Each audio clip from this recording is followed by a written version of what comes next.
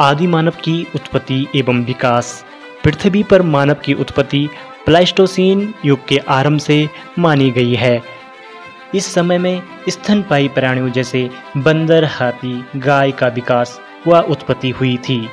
अधिकांश विद्वानों के अनुसार आज से लाखों वर्ष पूर्व नर बानरों के रूप में मानव की उत्पत्ति हुई।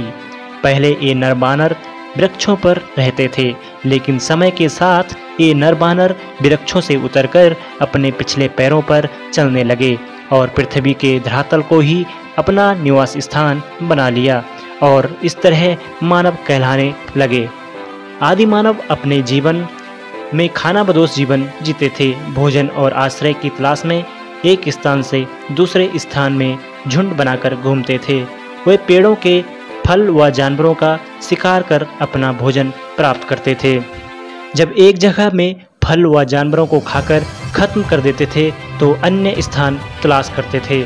आदि मानव का जीवन शिकार एवं फलों के खाद्य संग्रह पर निर्भर था।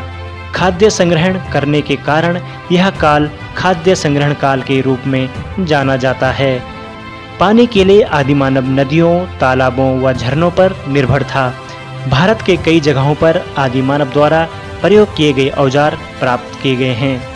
आदि मानव शिकार किए गए जानवरों के खाल या पेड़ों की पत्तियों से बने कपड़े पहनता था।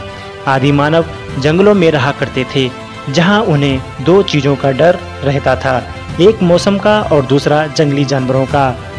वे बादल के गरजने और बिजली चमकने के कारण नहीं जानते थे, इसलिए वह भयभीत हो जाते थे। उस समय मानव काफ़ी कमज़ोर था। वह बाघ, चीता, शेर आदि खूंखार जानवरों का आसानी से शिकार हो जाता था। इसलिए इन सबसे बचने के लिए वह गुफाओं और पेड़ में छुपकर अपनी रक्षा करता था। एक समय बाद मानव ने आग की खोज की। यह एक संयोग था। दो पत्थर जब आपस में टकराए तो चिंगारी उत्पन्न हुई और पास रखे सूखे पत्तियों पर जा गिरी, जिससे कि पत्तियों पर आग लग गई। फिर इस आग का प्रयोग मानव जंगली जानवरों को भगाने तथा अपनी रक्षा के लिए करने लगा। रात को जब सभी आदि मानव साथ में इकट्ठा होते थे तो गुफा के बाहर यह आग जला देते थे, जिससे जंगली जानवरों द्वारा उनकी रक्षा होती थी।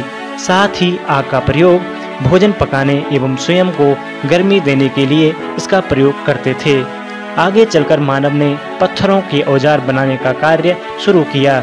इन्हीं कारण उस समय आगे चलकर मानव ने पत्थरों के औज़ार बनाने का कार्य शुरू किया।